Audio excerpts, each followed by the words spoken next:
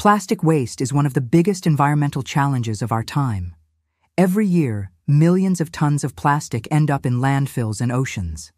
Plastic bags, in particular, can take hundreds of years to decompose. But what if nature already gave us a solution? Surprisingly, the answer might come from something very small, often seen as a pest waxworms. Waxworms are the larvae of the wax moth, and beekeepers usually consider them harmful because they infest hives and feed on beeswax. But scientists have discovered something fascinating. These little creatures can also chew through polyethylene, one of the most common plastics in the world, and break it down inside their bodies. This discovery has stunned researchers. Why? Because waxworms can do in one day what nature usually takes centuries to accomplish.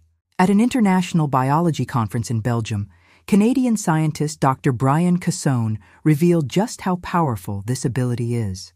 He and his team found that around 2,000 waxworms could completely break down an entire plastic bag in just 24 hours. That's right. Something humans struggle with for decades, these worms can handle in a single day. So, how do they do it? The secret lies in their gut bacteria. When scientists fed waxworms pieces of plastic, they noticed something unusual. The worm's droppings became soft and watery, and inside was a chemical byproduct called glycol, a sign that the plastic was being broken down. But here's the key. When the scientists gave the worms antibiotics to stop their gut bacteria, the breakdown almost completely stopped. This proved that the bacteria in the worm's intestines were the real plastic destroyers. Digging deeper, the researchers isolated bacteria from the worm's guts and grew them in the lab. Some strains could actually survive on nothing but plastic as their only food source.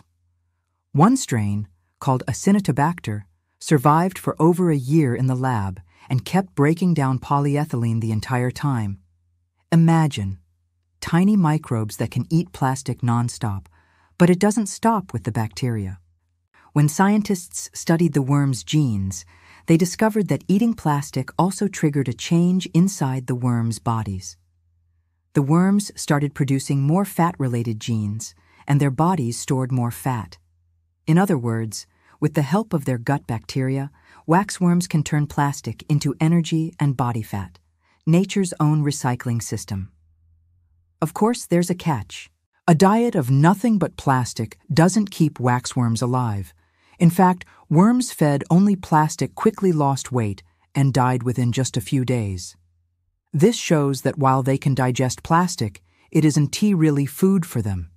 It is more like fuel that needs to be balanced with other nutrition. So, what does this mean for the future? Dr. Cassone and his team believe there are two possible paths. The first is to farm waxworms in large numbers, giving them extra nutrients so they stay healthy while continuing to break down plastic. The second, and perhaps more exciting option, is to copy nature.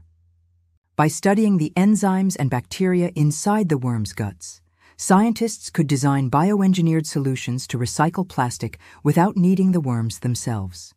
Imagine waste treatment plants equipped with microbes or enzymes that can melt down plastic bags in a matter of hours. It could completely transform how we deal with plastic pollution. For now, the waxworm is showing us something incredible that even the tiniest creatures can hold the key to solving some of the biggest problems humans have created. So, next time you see a small worm, remember, it might just be nature's secret weapon against plastic.